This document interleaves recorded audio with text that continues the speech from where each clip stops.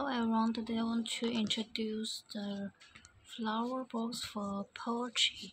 It is a famous brand for cars.